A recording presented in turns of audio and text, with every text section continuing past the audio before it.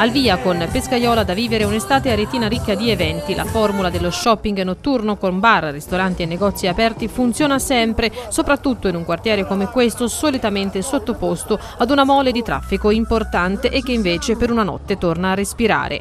Premiati per questa sesta edizione le attività commerciali più longeve, in quattro hanno ricevuto il riconoscimento quartiere nel commercio, una di esse ha addirittura la stessa età, 56 anni, del suo attuale proprietario. Sì, preciso.